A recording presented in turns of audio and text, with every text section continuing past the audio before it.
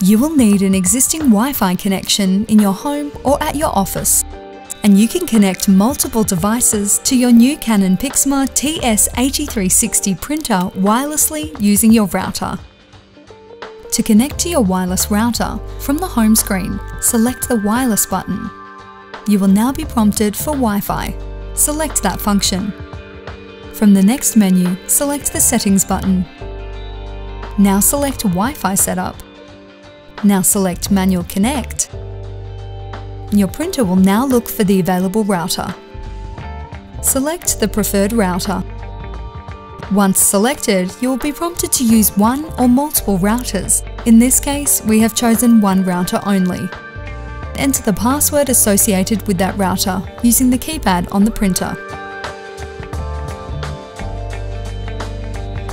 Once selected, press OK to continue. The printer will now confirm that you're connected to the router. Now let's set up your Windows PC. You will need your PC to be connected to the same router to complete this part of the setup. Go to the Windows icon and select the Settings tab.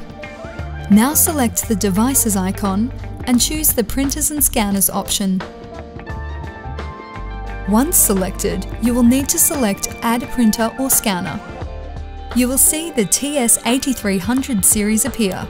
From here, you will choose the Add Device option and it will automatically connect. You will now see the TS8300 series appear in the available printers and scanners menu. Select this option and select the Manage button. From the next menu, select Open Print Queue. The printer will now print out the test page again. You will notice that on the TS8360, the tray will automatically slide out when the printer is ready to print a file. Thanks for choosing a Canon TS8360.